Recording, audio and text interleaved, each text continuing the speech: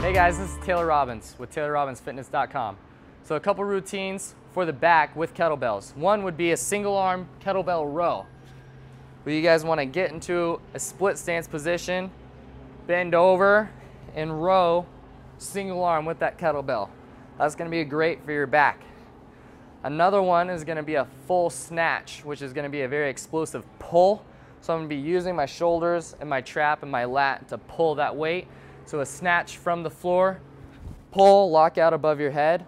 That's gonna be a great pulling and lat back exercise with the kettlebell. Those two, I would say should be your core foundational ones with the kettlebell for the back.